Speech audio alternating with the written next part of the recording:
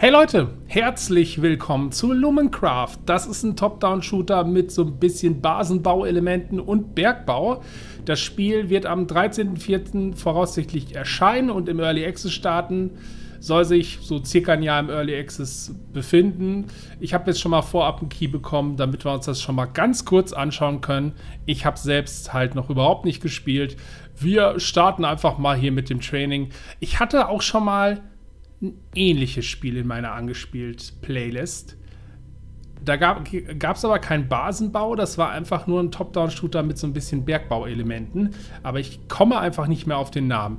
Gut, starten wir mal mit dem Training.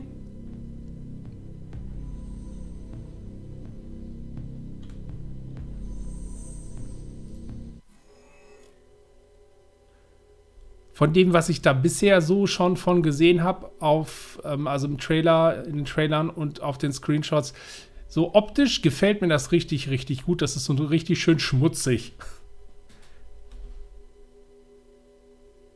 So, was haben wir denn jetzt hier? Naja, können wir uns aussuchen, wie wir die Sachen angehen. Mit Shift können wir dashen. Der sieht auch cool von der Bohranimation aus.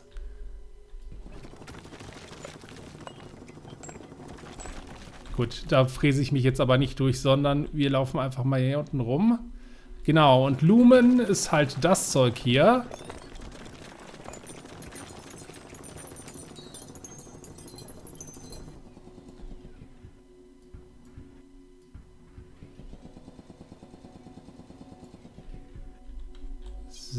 Gucken wir doch mal.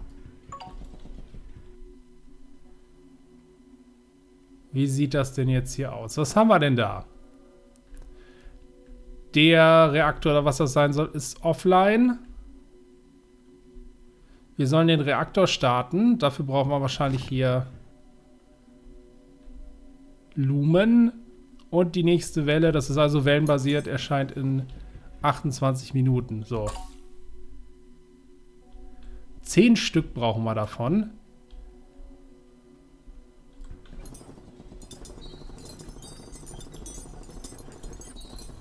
Dann sacken wir hier den ganzen Krempel schon mal ein. Habe ich denn hier sowas wie ein Menü? Ja, mit Tab so ein bisschen. Inventarplätze, alles klar. So, jetzt haben wir 10. Das müsste jetzt auf jeden Fall schon mal reichen.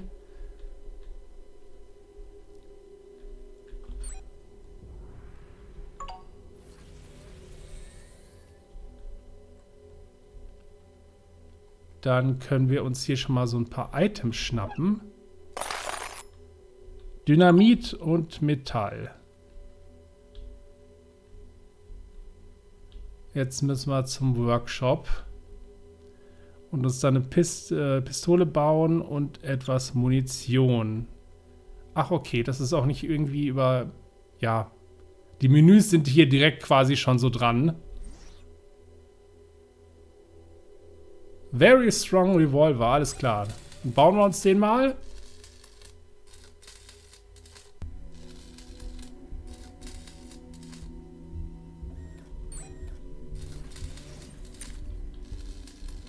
Jetzt baut er direkt noch einen zweiten. Nein, ich wollte gerne...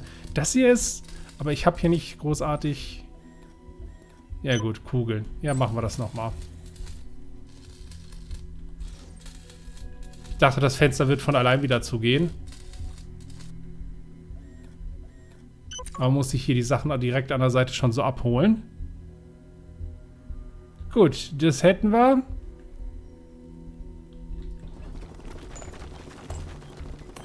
Metall brauchen wir auch bestimmt eine Menge.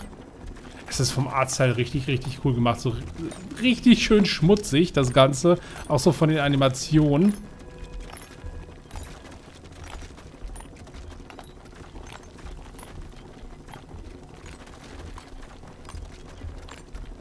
Wie viel Metall brauche ich denn?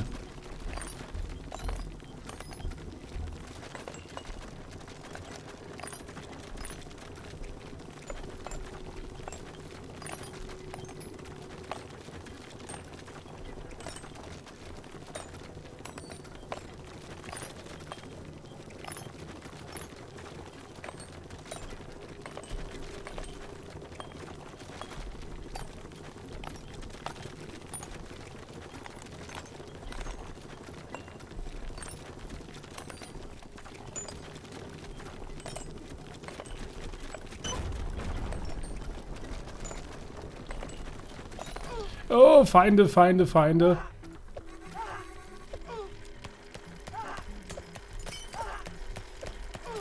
Wir haben hier direkt auch schon so ein Geschützturm in der Basis. Das ist auf jeden Fall schon mal recht praktisch.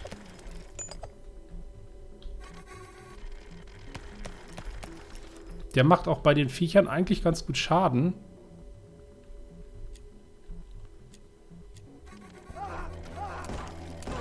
So, die Pistole hatte ich gerade gesucht.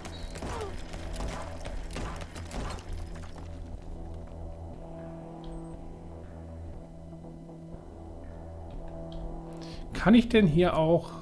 Ja, mit den Tasten durchschalten. Alles klar.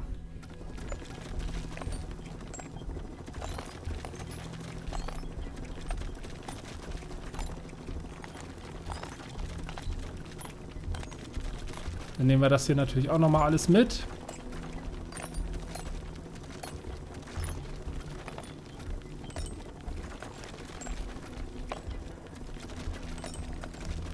Dann müssten wir doch gleich auch schon mal genug haben, oder nicht?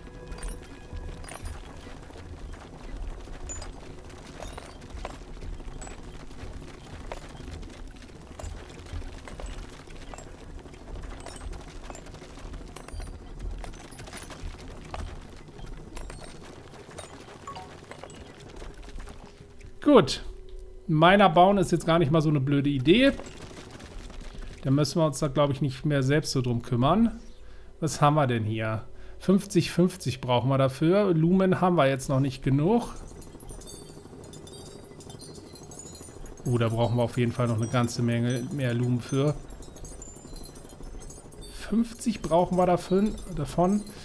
Ähm oh, da war eine Kiste mit mehr Lumen. Okay. So.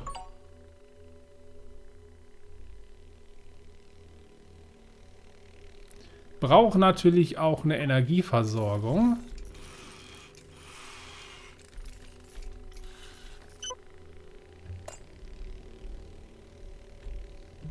Jetzt sollen wir unseren Bohrer hier nochmal aufwerten.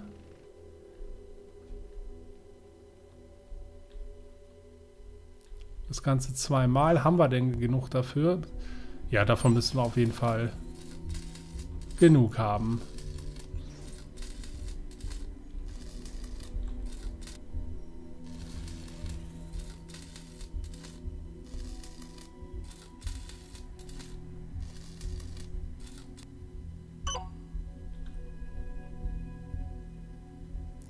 Jetzt braucht man Power Extender, um Gebäude mit Energie versorgen zu können. Okay. Mit B haben wir hier das Menü.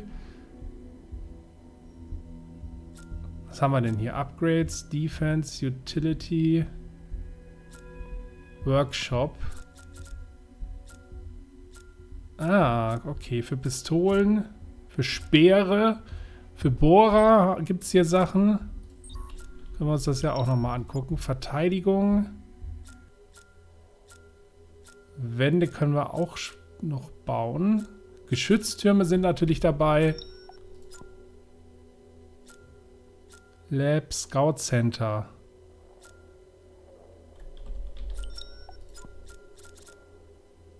Light Tower. Hier können wir uns wahrscheinlich dann äh, Health Center heilen. Lumen Farm, Power Expander, Schredder. Power Extender brauchen wir.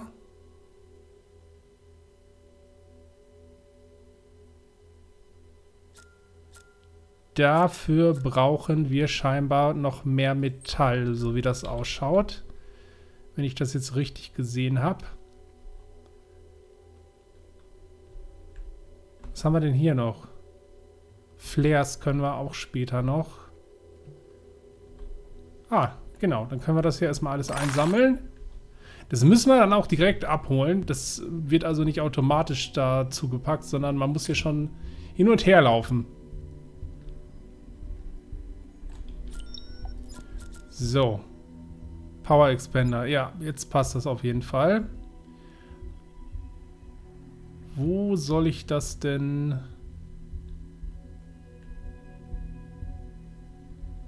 am besten hinsetzen?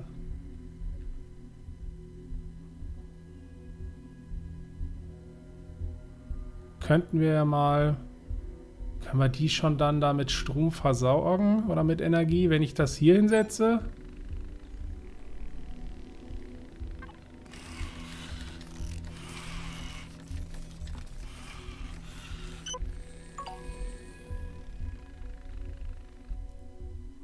Jawohl, hat geklappt.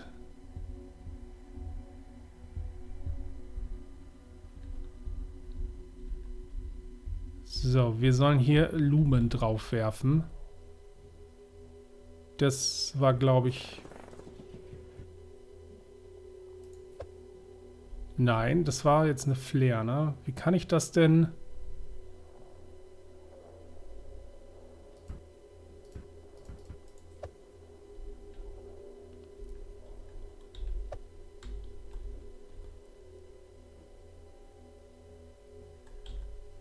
Moment. Gut, Karte haben wir.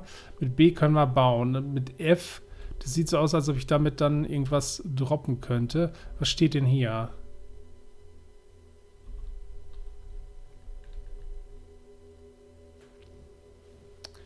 Gut, jetzt weiß ich nur leider nicht, wie... Ich kann die halt nicht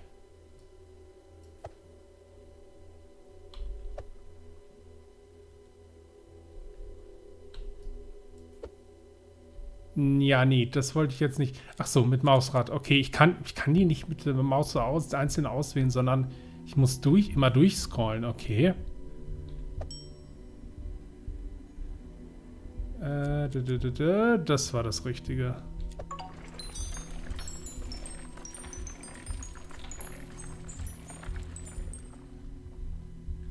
Gut, gut. Dann brauchen wir jetzt wieder den Bohrer. Und wir müssen mal gucken, was haben wir denn hier noch so? Dynamit, Pistole. Kann ich die irgendwie umordnen? Die kann ich doch bestimmt irgendwie anders anordnen. So, wo wollen wir denn jetzt hin? Wir sind da. Kann ich hier irgendwie die Karte bewegen?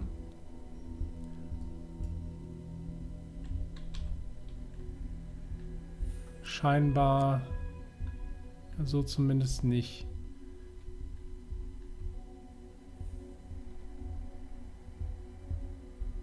Ah, so kann ich Quickslots zuweisen. Alles klar, gut. Ist das jetzt hier die richtige Richtung? Vielleicht. Ja, auf jeden Fall. Gut, sieht man jetzt auch.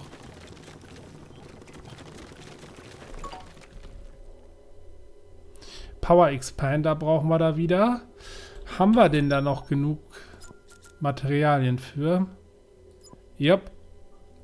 Okay, wenn ich den jetzt da hinsetze, kann ich dann da durchlaufen? Oder muss ich mich drum herum bohren? Ich, wobei, das ist da gar nicht breit genug für. Ähm, machen wir das mal so. Mal gucken, ob ich da drüber laufen kann. Ne, kann ich nicht.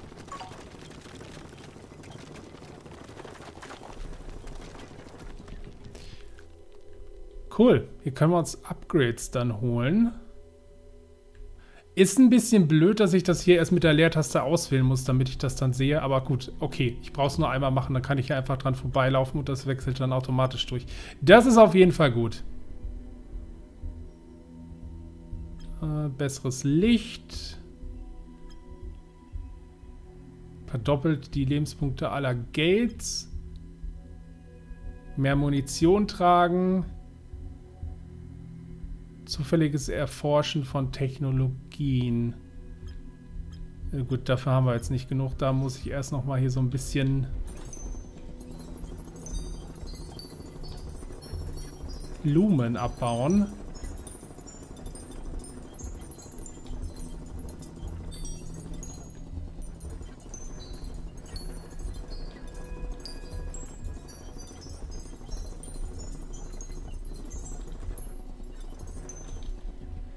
Wie viel war das denn jetzt?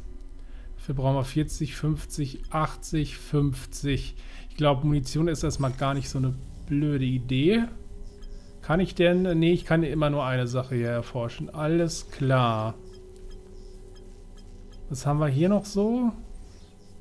Mehr Hitpoints. Das klingt doch schon mal ganz gut. Mehr Tempo. Was haben wir hier so? Backpack. Ein Slot mehr, mehr Stamina, ausweichen. Klingt auch nicht so verkehrt, aber 2%, ich weiß ja nicht. Dann nehme ich doch, glaube ich, lieber hier mehr Lebenspunkte.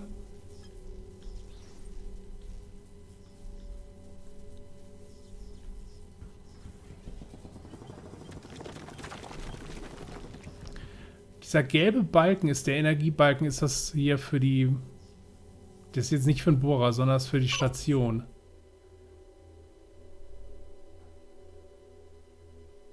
Wir haben auch ein Werkzeug, um beschädigte Strukturen zu reparieren. Okay, gut. Das hier muss ich jetzt aber... Nee, das muss ich nicht einsammeln. Gut, das muss man dann halt auch erstmal alles wissen. So. Da können wir was reparieren. Wir brauchen aber erstmal diese Repair Gun. Und dann gucken wir mal. So. Das geht auf jeden Fall fix. Gut.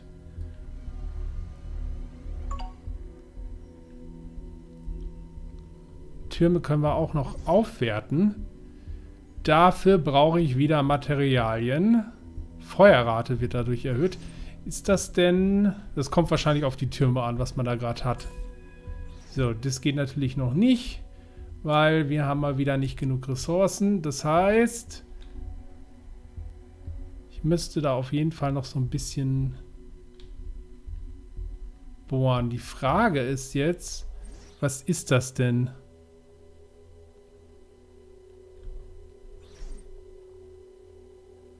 Das ist wahrscheinlich... Hier unten haben wir noch was. Metall, genau.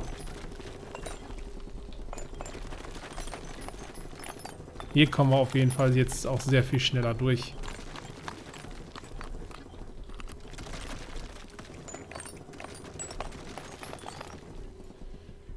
So.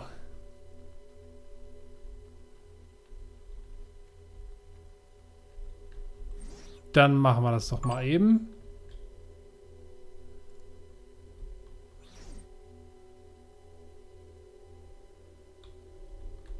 Ganze Wartezeit kann man natürlich auch noch abkürzen, indem man dann hier den Reaktor benutzt. Aber ich will jetzt hier scheiße schon mal die Pistole aus. Wie kann ich denn...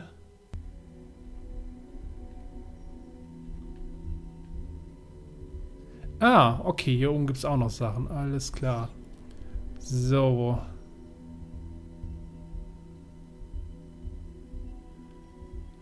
Also im Prinzip geht es hier primär darum, Lumen auszubuddeln und wenn wir zu viel Lumen ausbuddeln, dann kommt irgendwas aus der Erde und greift uns an. Reaktorreichweite können wir auch erhöhen. Defense Shockwave gibt es auch. Okay. Ein Klon. Ah, damit können wir uns wiederbeleben. Dann machen wir jetzt erstmal das hier.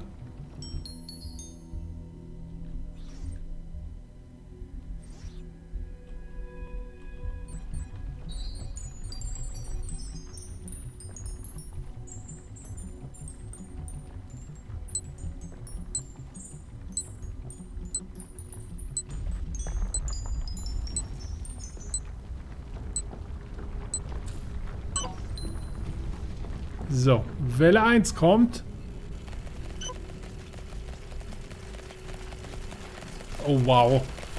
Das ist auch nicht gerade wenig.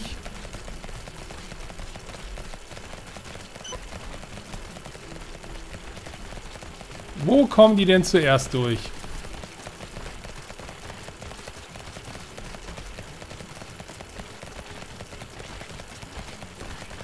Oder vielleicht kommen die da jetzt auch noch gar nicht durch.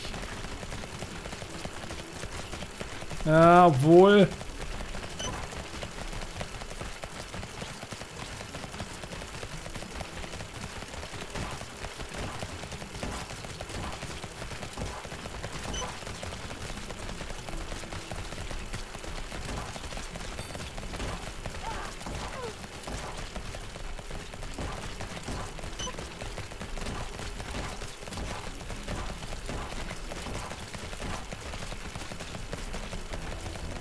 glaube, ich muss auch mal ein bisschen gucken. Gut, ich habe jetzt noch 44 Schuss, aber bei so vielen Viechern ist das jetzt auch nicht so viel. Gut.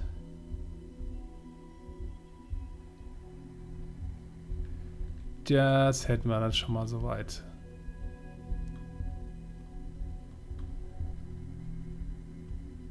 Die sind auch nur dadurch gedrungen.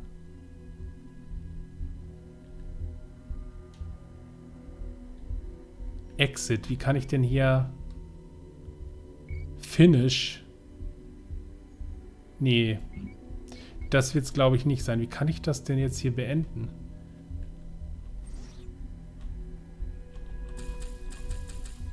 So schon mal nicht. Das war auch wieder was anderes.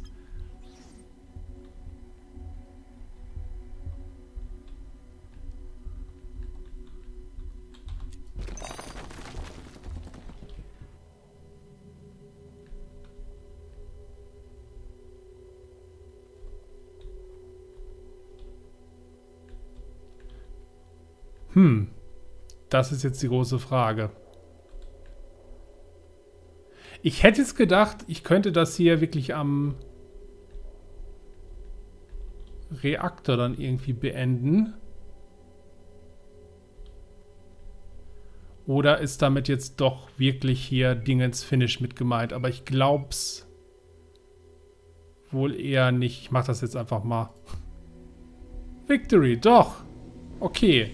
Es ist ein bisschen komisch. Einerseits hat man halt so Sachen, die kann man dann bauen, die laufen dann vom Fließband runter, die muss man einsammeln. Dann hat man Upgrade-Systeme, die, die man dann nicht einsammeln muss. Und dann äh, steuert man eigentlich alles über diese Felder, wo man dann die Sachen auswählt. Aber um das zu beenden, muss ich dann wirklich über Escape scheinbar gehen. Ich habe das jetzt nicht gesehen, ob es irgendwo da mit einer Basis das noch, ob man es da beenden kann. Also sind halt schon ein paar unterschiedliche Sachen. Und das muss man dann halt auch erstmal wissen. Aber das Ganze macht schon einen ganz guten Eindruck. Macht auf jeden Fall Laune und das hat generell so, die Optik gefällt mir. Gegner, ja, das waren bisher erst so kleine Insekten. Da kommt bestimmt später noch andere Sachen. Gut, ich hoffe, ihr hattet ein bisschen Spaß mit dem Video. Das war es erstmal wieder von mir und bis bald.